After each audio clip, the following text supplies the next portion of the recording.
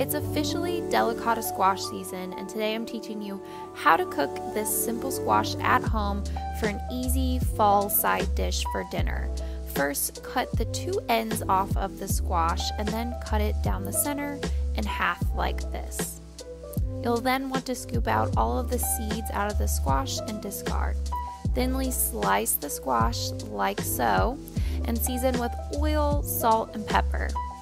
Evenly spread out onto a prepared baking sheet and bake at 425 degrees Fahrenheit for 15 minutes on one side, then flipping over for another 15 minutes on the other side, adding additional time as needed. The squash is so flavorful, and yes, the skin is edible.